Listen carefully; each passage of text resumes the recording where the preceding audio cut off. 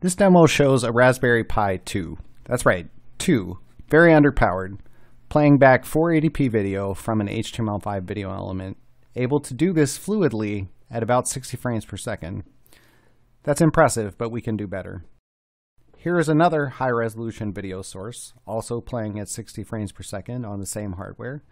But we can introduce two distinct canvas elements and use the original video element as their source split it and copy parts from the original video surface fluidly in real time, and apply CSS3 rotations and transformations to each of these elements without skipping a beat.